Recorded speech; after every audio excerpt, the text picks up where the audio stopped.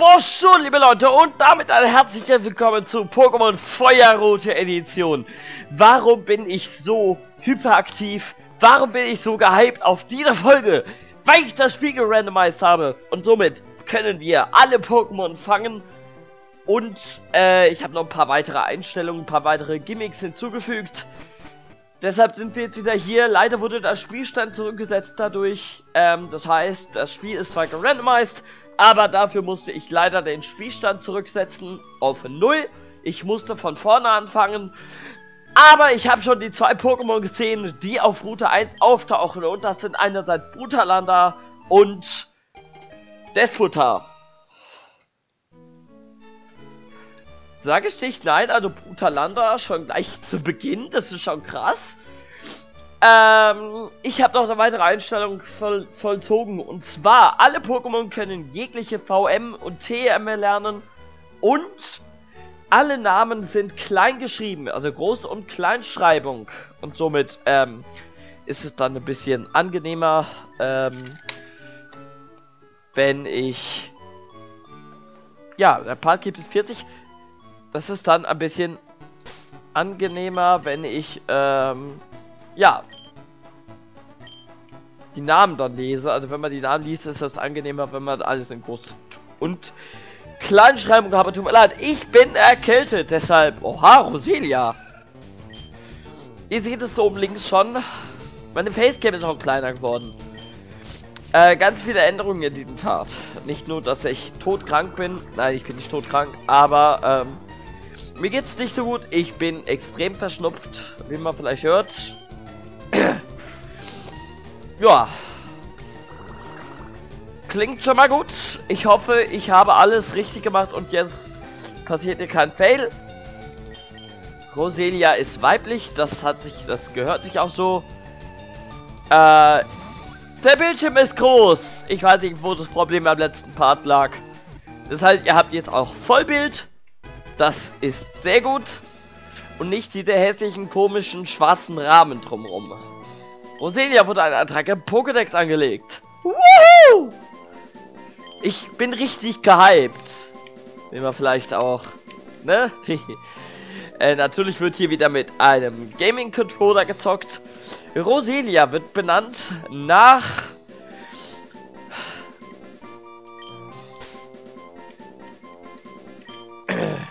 Laura. Ich habe ja gesagt, dass ich alle Freunde von mir nach ähm, Pokémon benennen werde. Äh, ich habe mehrere Lauras. Deshalb wird der Name Laura wahrscheinlich häufiger vorkommen. Das ist sehr uncool, mit dem, dass ich krank bin. Aber vielleicht ist diese, diese ist ja massig, boah, Brutalanda. Yep. Boah, Bedroher von Brutalander vermindert Angriff. Ich weiß nicht, wie sich Feuer gegen Drache verhält. Brutalander ist ja Drache. Ja, gut, es ist äh, ineffektiv. Ist schon mal scheiße. Ich wurde übrigens fast von meinem Rivalen auseinandergenommen. Äh, das heißt, ja, schon mal sehr, sehr schön auf jeden Fall. Muss ich sagen, der Anfang lief sehr gut. So, und jetzt wird es langsam ein bisschen eng. So, ich traue mich nicht weiter, ihn zu schwächen. Vor allem nicht mit Kelute anzugreifen, weil es könnte ja passieren, dass ich einen Critical Hit lande und Brutalander damit töte. Und somit eins, zwei, drei, Batsch! Gotcha! Brutalander wurde gefangen. Habe ich schon mal ein extrem starkes Pokémon zu beginnen. Zu Beginn. Zu beginnen vor allem. Zu Beginn. Brutalander kriegt natürlich auch einen Namen. Und zwar, ähm, ein Name, den man wahrscheinlich nicht so häufig hört. Ich hoffe, dass jetzt hier meine Freunde mir nicht einen reinwürgen. Dann müsste ich, wenn ich in Lavandia bin, alle Pokémon umbenennen. Und das wird zu dem Zeitpunkt extremst lange dauern. Gisal. Da ich ja keine Nachnamen benutze aus Datenschutz, äh, geht es hoffentlich in Ordnung. Trainer-Pokémon sind nicht gerandomized. Das habe ich ausgeschaltet. Und vielleicht spielen wir auch Pokémon Blattgrün als eine Randomizer und Nuzlocke Challenge. Das wird für euch bestimmt sehr interessant. Vor allem ich als der Pokémon-Profi. Wir sind jetzt übrigens wieder da, wo wir im letzten Part waren. Ich habe hierher gespielt wieder. Soweit, äh, dass wir nicht den kompletten Anfang und ihr irgendwie keine 70-Minuten-Folge habt. Wir haben noch äh, 15 Minuten. Ich habe äh, ja ganz vergessen, dass ich ja gesagt habe, dass ich äh, das Ganze äh, äh, das, das Ganze 20 Minuten machen werde. Natürlich werde ich alle Pokémon jetzt äh, auf Level 8 angleichen.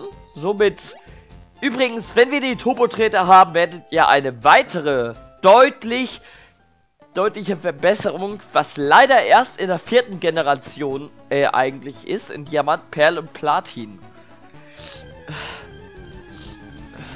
Ich bin... Oh, Corazon, geil. Los, Brutalanda. Ey, ich komme darauf überhaupt nicht klar gerade irgendwie. Ihr könnt mir aber sagen, was ihr von den Änderungen haltet. Corazon schlägt zurück, das ist gut.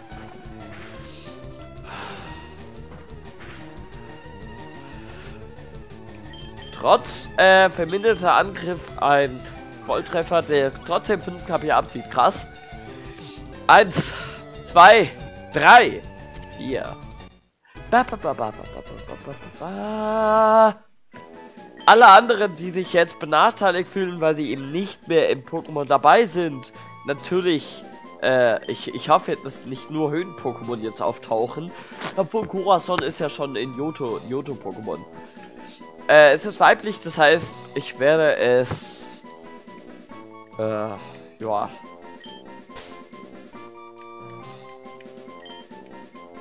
Eva nennen.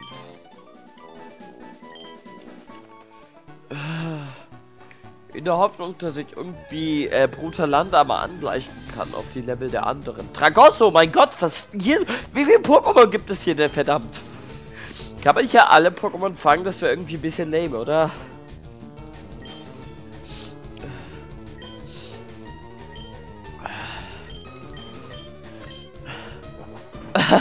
Ich bin übelst verstummt.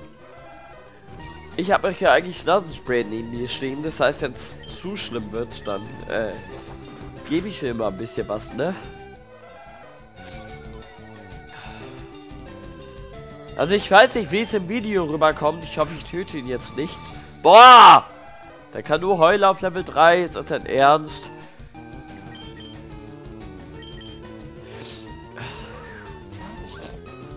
Ey Leute, wir haben... Was?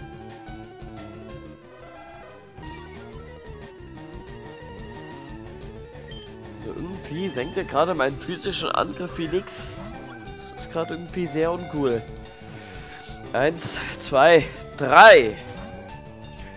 Ach, Tragosso. Aber hattet ihr schon mal so Probleme, Tragosso zu fangen? Im Pokémon-Turm mit Lavandia? Ja, jetzt habe ich eine Bälle mehr.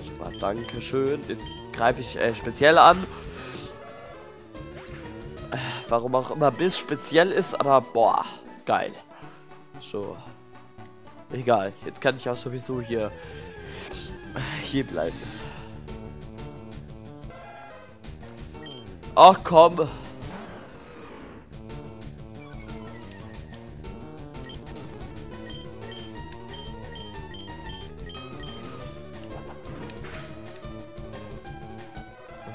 Kommt, Leute, das ist doch nicht euer Ernst. Ich wollte mit euch übrigens in diesem Part auch mal über die Geschehnisse der letzten Woche sprechen, weil ich habe nämlich erfahren, dass in Offenbach IS-Anhänger äh, gemeint haben, sie müssen Scheiße bauen, obwohl der IS ja sowieso scheiße ist, aber gut, das wissen wir ja alle. So, es geht darum, dass in Offenbach IS-Anhänger äh, ein bisschen, äh, ja, ein bisschen Sprengstoff vorbereitet haben und äh, sich Waffen aus dem Internet besorgt haben. Und da denke ich mir so, okay, alles klar. Jetzt haben wir den IS schon in Deutschland. Übrigens, einen Moment bitte, ich muss hier ganz kurz die Nase putzen. Leute, glaubt mir, ihr wollt keine Details haben. Ähm, fragt gar nicht erst danach. Aber es geht langsam wieder. Ich weiß nicht, ob man das an der Stimme hört. Ich muss erst alle meine Pokémon angleichen. Also wir sehen uns dann wieder, wenn ich das Ganze gemacht habe. Also, kurzer Schnitt. Äh, wir sehen uns wieder, wenn alle Pokémon auf Level 8 sind.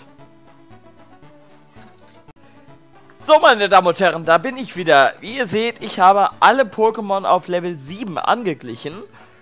Ähm, Glumanda, Brutalanda und Roselia. Corazon habe ich halt einfach mal auf Level 2 gelassen. Und was man hier nicht alles trifft, mir ist eben noch ein Latios begegnet. Sehr schön. Ähm, also, es fängt schon mal gut an, der Part. Also, um nochmal auf das Thema zu sprechen zu kommen. So, also, ich hatte ja angefangen über das Thema ähm, IS. Und ganz ehrlich, ich kann nicht verstehen, wie sowas passiert, dass solche Leute nach Deutschland kommen. Also, ganz ehrlich, ich würde, die, die Personen sind in den Knast gewandert, ne? Und die Personen sind nicht deutscher Abstammung. Also, ich glaube, zwei waren deutsch-mazedonisch und einer deutsch-türkisch. Ich würde die einfach abschieben, diese Leute. Einfach raus aus Deutschland. Weg mit denen. Das können wir hier nicht gebrauchen. Das, ähm... Dass das jetzt hier genauso anfängt wie in Syrien, ne? Ich bin der Erste, der weg ist, ganz ehrlich. Das kann ich nicht gebrauchen. Unser erster Gegner ist, glaube ich, übrigens Taubsi.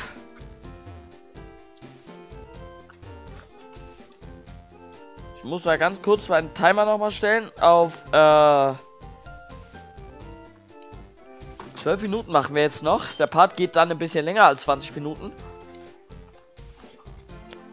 Aber ich glaube, dass der Zeit eben weiß, es gibt so viele Änderungen hier. Also das ist ja hier unglaublich.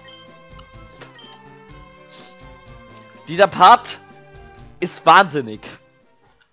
Ich habe mich mal getraut, ein bisschen was zu machen. Aber ziemlich viel Geld verschleudert, hab noch 600 Poké-Dollar. Weil teilweise hatten wir auch äh, Voltilam. Der mich halt ziemlich auch paralysiert hat. Das ging mir halt bis auf die Eier. So, los Abdul, los Abdul AFG. Das ist nicht gut. Ach ja, komm, und geht die Scheiße daneben oder was?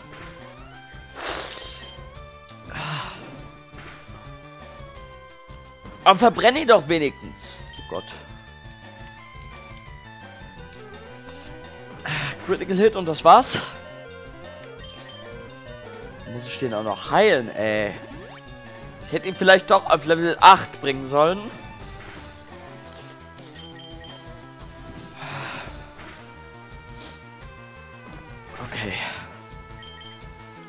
Jawohl. Jetzt haben wir aber Level 8. Level 8.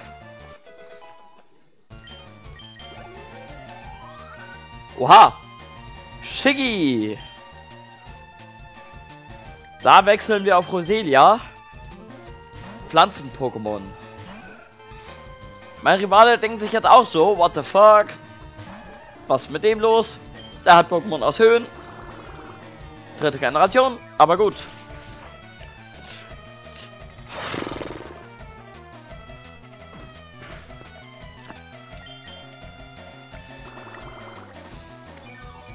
Ha.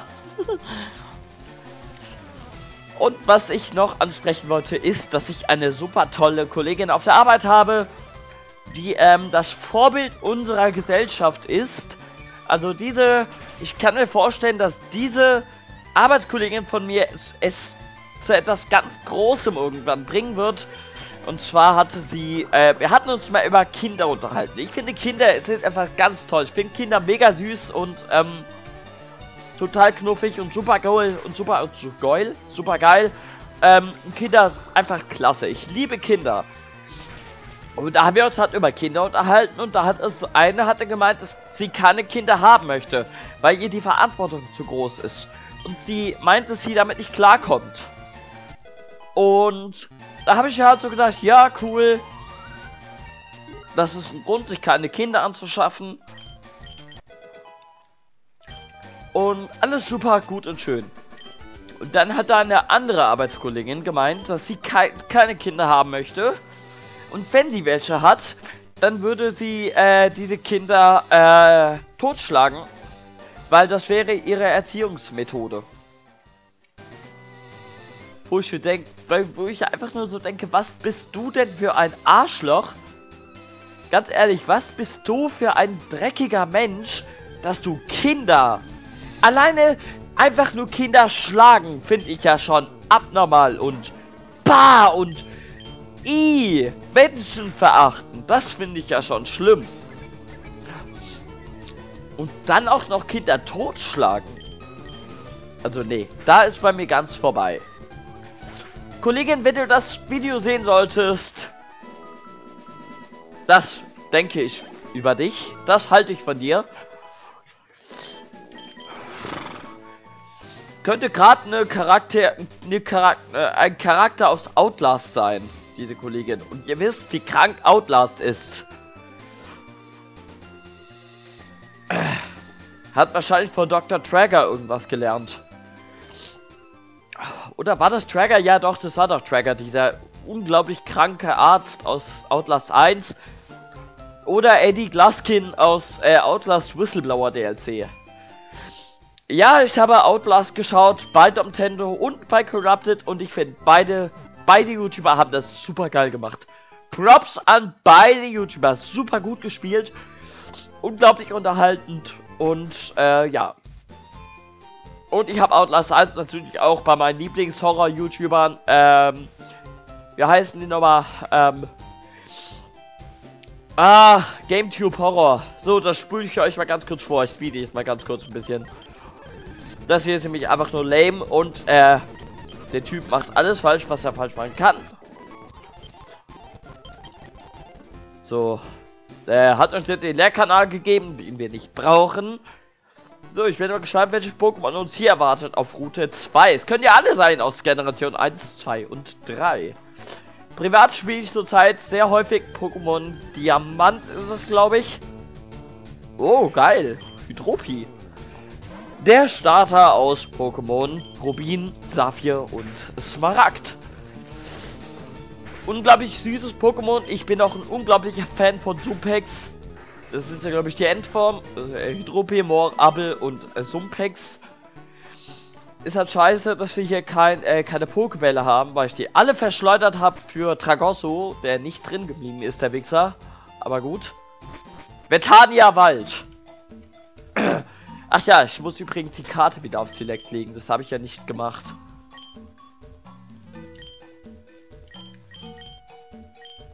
So. Erstmal hier das Gegengift nehmen. Aber gesagt, dass ich kein Geld habe, ich kann es euch auch beweisen. 824 Poké-Dollar.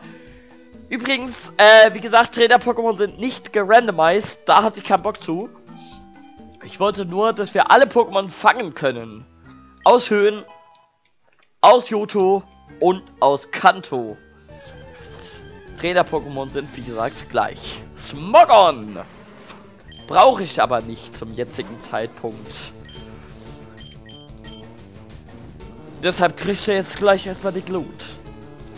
Giftwolke geht zum Glück daneben. Hat auch, glaube ich, nur eine Treffergenauigkeit von 70 oder so. Oder 80.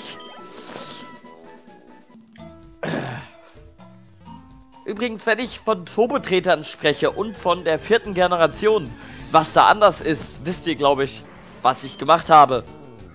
Aber ich spoiler nicht, lasse euch überraschen, wenn wir jo äh, Rocco besiegt haben. Genau, wenn wir Yoto besiegt haben, alles klar. Wenn wir Yoto besiegt haben. Äh, ich glaube, ich fange es doch, wenn es geht. Ich hoffe, es ist willig. Eins, zwei, drei, vier.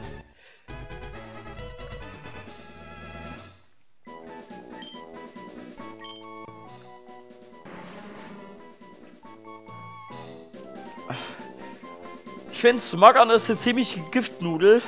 Und äh, dieser Name passt einfach zu einer Giftnudel. Ich hoffe nicht, dass sich jetzt alle Michelles angegriffen fühlen. Aber, ähm... Ich meine damit eine ganz bestimmte Michelle. Und zwar eine Wohngruppenkollegin, mit der ich zusammen in einer Wohngruppe gewohnt habe.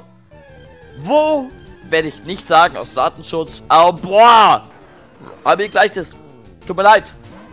Hab gerade aufgestoßen. Da haben wir gleich das nächste Brutalander. Und dies auf Level 4. Kann aber nicht viel mehr als meins. Vier Minuten, drei Minuten geht dieser Part noch. Oha.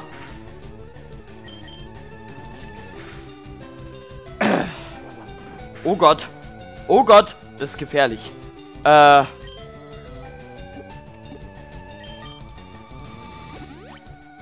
Trank.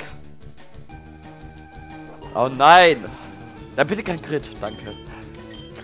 Critical Hit ist das letzte, was ich jetzt noch gebrauchen kann. Okay, Rad 3 ist nicht so stark und somit ist Brutalanda tot. Und wir auf Level 10, glaube ich, oder? Reicht das? Ja.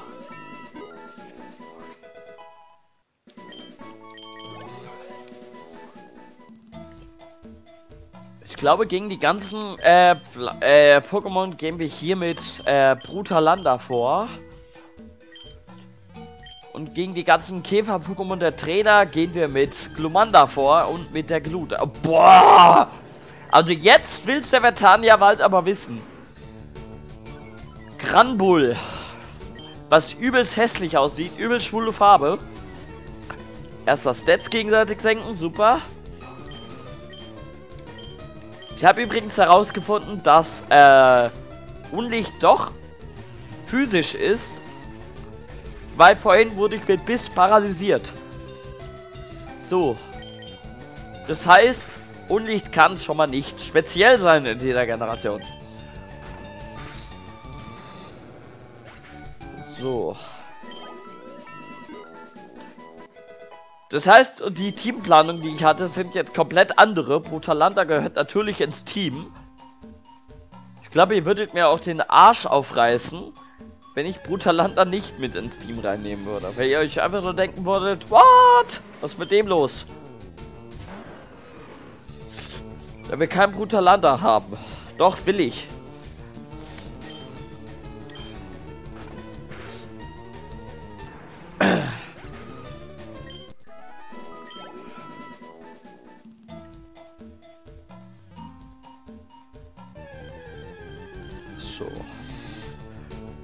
Das denn? Maskeregen.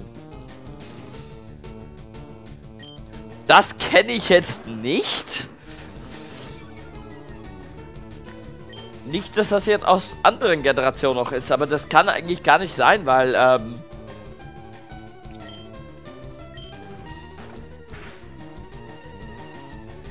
Okay.